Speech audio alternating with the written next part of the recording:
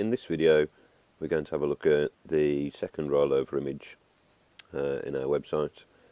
Um, we could change it in exactly the same way that we did the first one, um, but in this instance we're actually going to delete it and create a new rollover button from scratch. So if we go from here back to Dreamweaver,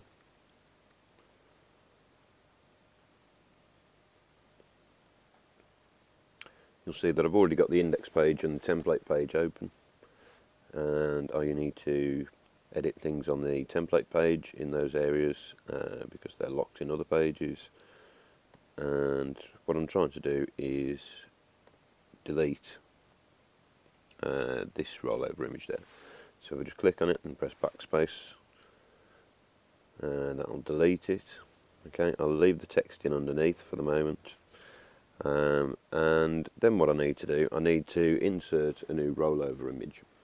Um, but before I do that, I need to make sure that I've got two images uh, that I'm going to use. So let's have a look at the images folder. Okay, and as we can see here, we add two over and add two up. Now I don't have to edit these images, I could just save over the top of them um, I don't need to necessarily use these image names as we're going to in, in import.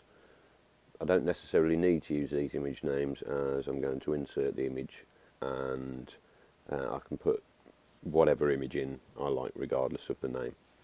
So if we edit these uh, in our image editing application just to create the new images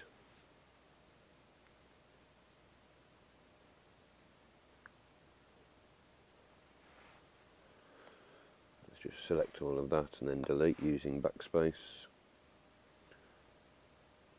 And this image uh, I've already got the components prepared here.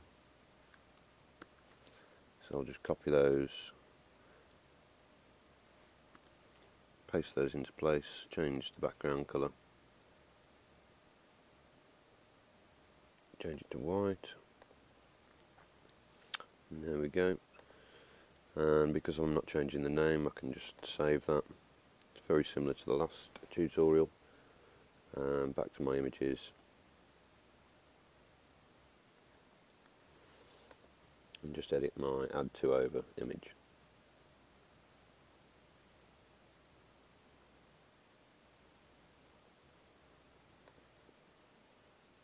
Again, I'm just going to copy everything from this pre-prepared image here.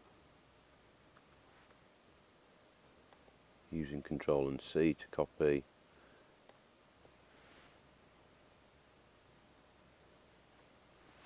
And then control and V to paste.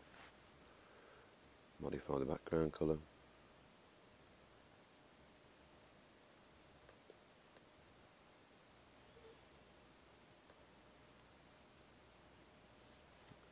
and then we can save that. Control S to save. And we're ready now to uh, insert the rollover images into Dreamweaver. So let's go back to Dreamweaver. So if we click where we want to insert the image which is down here. Don't forget you need to be on the template page to be able to click in this area. I then need to go to insert image object and roll over image. If we select that and we get this dialog that pops up here. Uh, we can name our image and this is going to be advert 2. The original image is the image that will show when the website first loads so this is the first image that the user sees in our images folder that will be add to up, add to up, and then the rollover image is the image uh, that will be displayed when the mouse rolls over the image area. Okay. Now this alternate text area here, uh, this is the text that will be displayed in the image area if the image doesn't load. Um, Uh, it's about accessibility and readability of the site and we need to uh, in this alternate text area explain what the image is. Just a simple uh, one or two words will suffice.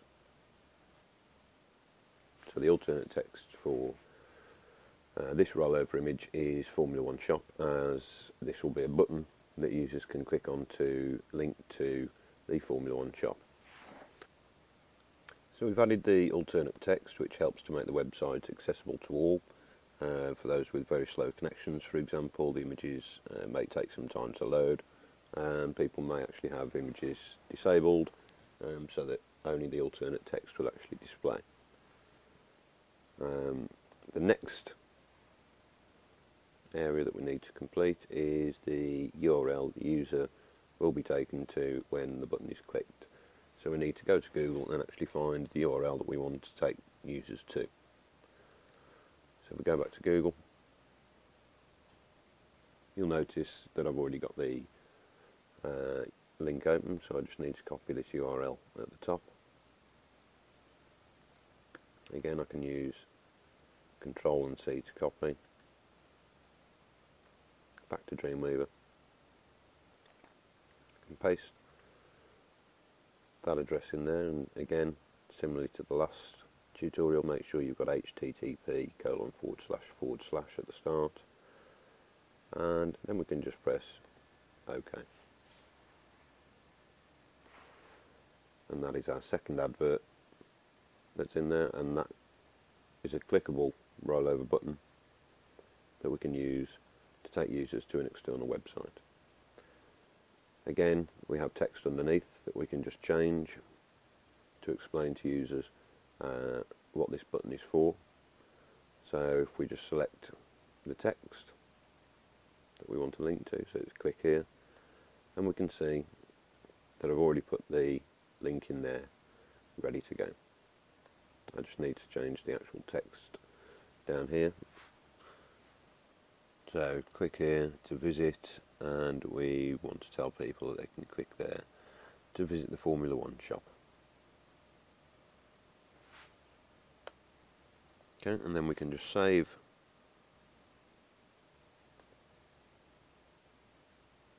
yes, update the other pages.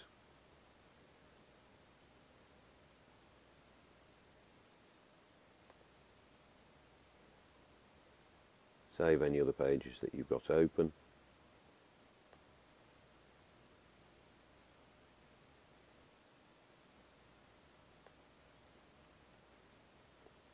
If we view this in our internet browser now, we should see that the second rollover button works and takes us to the Formula One store.